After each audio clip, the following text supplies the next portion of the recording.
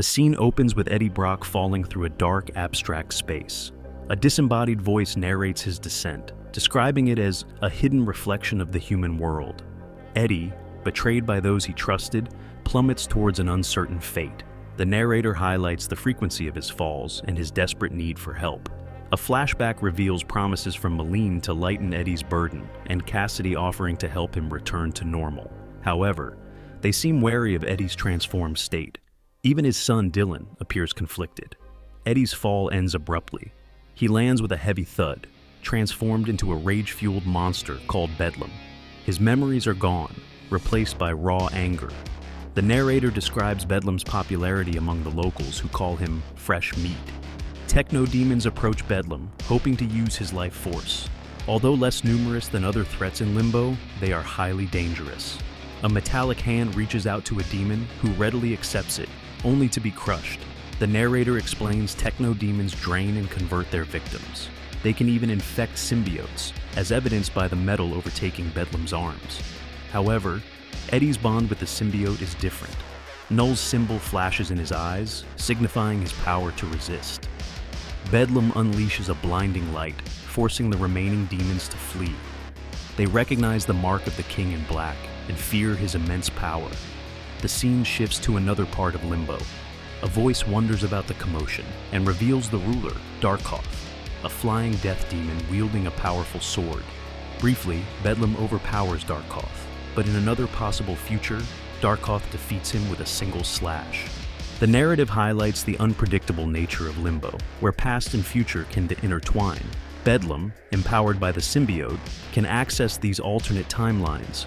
Memories of the Garden of Time and his attack on Dylan resurface.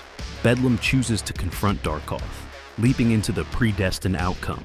In one version, he uses the broken pieces of the Soul Sword to kill Darkoth. In another, he's critically injured by the sword, causing the symbiote to abandon him and seek a new host. Due to its proximity, the symbiote bonds with Darkoth, who desperately tries to escape Limbo. He stumbles upon a stepping disc and escapes to Asgard, leaving the Soul Sword and a leaderless Limbo behind. Meanwhile, Eddie continues his descent, now surrounded by darkness and liquid. The narrator ponders how much further he can fall. Eddie eventually emerges from the liquid, having fallen all the way to the narrator, a disembodied Venom hand. The hand explains Eddie has reached the path of the magician. Eddie walks forward, unsure of himself, but determined. The narrator details the two types of magic white magic, associated with purity, and black magic, focused on manipulating the world itself. He finally reaches his destination a giant, flaming venom hand. It emphasizes Eddie's need for help.